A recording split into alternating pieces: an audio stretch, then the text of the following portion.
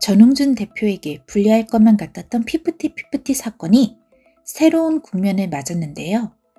이러한 새로운 국면에 맞는 데는 멤버 키나가 소속사인 어트랙트로 돌아온 것이 한 몫을 했습니다. 대표적인 시사 프로그램인 그것이 알고 싶다가 피프티 피프티 멤버들의 입장을 귀 기울인 것 아니냐는 방송을 내보내 상황은 원래 소속사인 어트랙트에 불리해지는 것 같았는데요. 그러나 뜻밖에도 현재 상황은 예상과 다르게 전홍준 대표에게 힘이 실리기 시작했습니다. 그리고 그러한 배경에는 멤버 키나가 돌아온 공이 컸는데요. 왜 그러냐고요?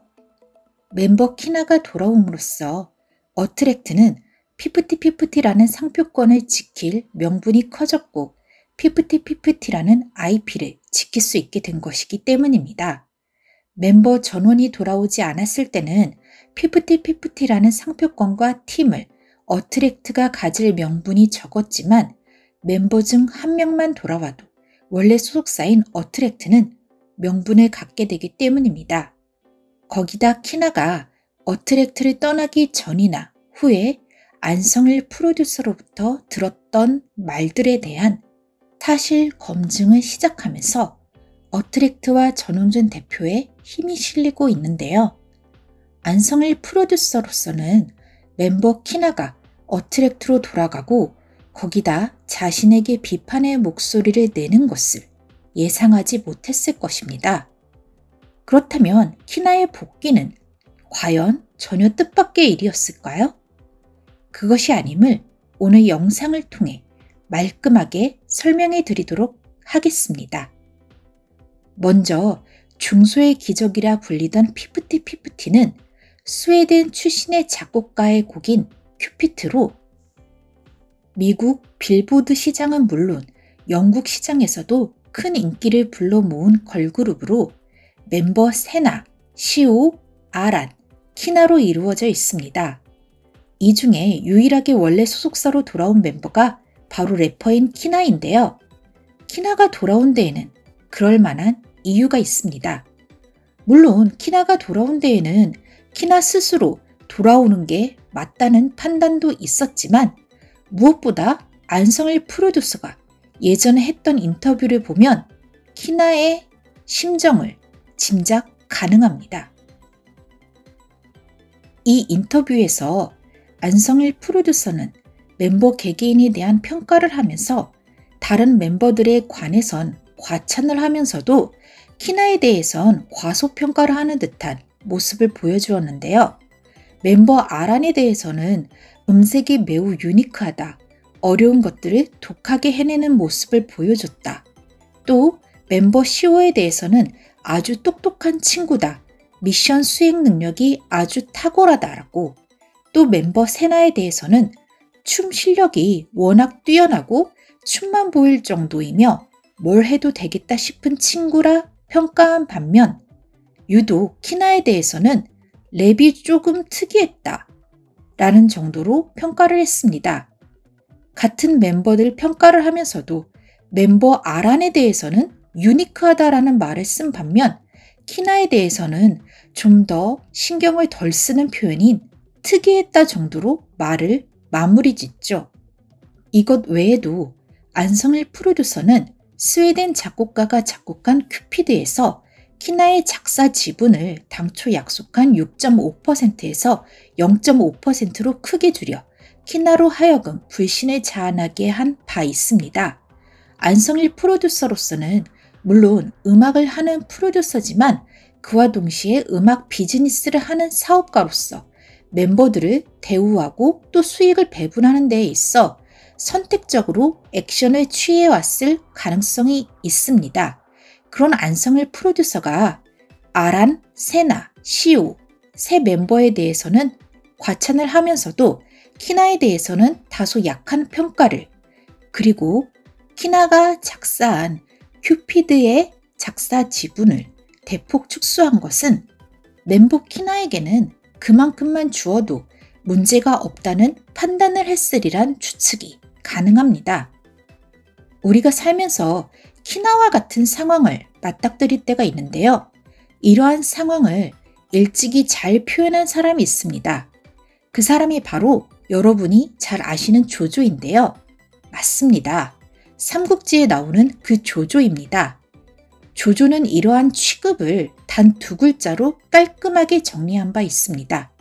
그것은 바로 계륵이라는 단어인데요. 계륵의 단어 뜻은 큰 이익은 없으나 버리기는 아까운 것을 말합니다. 계륵의 유래는 유비와 조조가 한중 지역을 놓고 전쟁을 벌일 때 비롯되었습니다. 유비와 조조의 두 세력의 싸움이 별다른 수학도 없이 오랜 시간 이어지자 조조군에서 도망치는 군사가 늘어나게 되었습니다. 조조로서는 나아갈 수도 그렇다고 물러설 수도 없는 진퇴양난의 시기였습니다. 그러던 어느 날 조조는 저녁 식사로 나온 닭국을 먹으면서 장수에게 그날 밤 암호를 계륵으로 하겠다고 하였습니다. 모두가 그 뜻이 무엇인지 몰라 고개를 갸웃거릴 때 양수가 웃으며 말했습니다. 계륵이라면 닭갈비가 아니오? 닭갈비는 버리기 아까우나 먹을 것이 없소.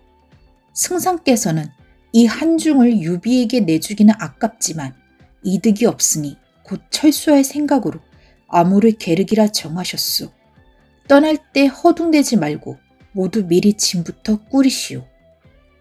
여기서 비롯된 고사성어가 바로 계륵인데요. 이렇다 할 이익은 없지만 버리기는 아까운 그런 것을 말합니다. 우리도 살면서 이러한 계륵 취급을 왕왕 받기도 하는데요. 키나로서는 자신을 피프티 피프티의 멤버로서는 보지만 자신을 귀히 여기지 않는 사람의 이익을 위해 자신이 마음이 시키지 않는 일을 더 이상 할 이유가 없었던 셈이었지요. 이처럼 우리는 살면서 뜻하지 않게 누군가의 계륵이 되어 살아가는 일들이 아주 많습니다. 누군가의 계륵이 될 때 우리는 자존감이 대단히 낮아지고 우리 스스로가 쓸모없는 존재라고 생각되기 쉽습니다. 상대의 계륵 취급에 우리는 갇혀서 살게 되죠. 상대는 자신을 대단한 사람이라고 말하기에 그런 사람에게 계륵 취급을 받는 게 아픔이 되고 상처가 됩니다. 하지만 그런 상대의 마음에 들기 위해 애쓰기보다는 차라리 상대에게 자신이 계륵과 같은 존재임을 인식하고 자신 역시 상대를 마찬가지로 계륵으로 보는 자세가 필요합니다. 그리고 훗날 상황의 반전에서 자기 스스로가 상황을 반전시킬 히든 카드가 되는 편이 낫다는 걸 우리는 피프티 피프티 키나 사태를 통해 알 수 있습니다. 키나가 만일 다른 멤버들만큼 혹은 그 이상의 과찬을 듣기 위해 안성일 프로듀서에게 노력을 했다 한들 그것은 헛수고에 불과했기 때문입니다. 키나는 안성일 프로듀서의 계륵으로 남지 않고 그 대신 상황을 반전시킬 히든 카드로서 제2막을 열은 셈이죠. 이것은 또한 키나 본인의 인생에도 아주 좋은 기회로 작용하였습니다. 그로 인해 어트랙트에서는 피프티 피프티를 계속 이어갈 명분을 갖게 되었고 키나 자신 역시 앞으로 피프티 피프티로 남아 수익과 가능성을 이어갈 수 있게 된 것이기 때문입니다. 그러니 만일 누군가 여러분의 단순히 계륵으로 닭의 뼈에 불과한 것처럼 취급한다면 당신은 거기에 머무르지 말고 스스로 물줄기를 바꾸는 삶을 살기를 권장합니다. 당신을 과소평가하는 사람은 결코 당신에 대해 알지 못할 뿐더러 또한 미래를 알지 못하기 때문입니다. 결국 미래를 바꾸는 건 당신이 될 테니까요. 여기까지 핀볼 이펙터입니다.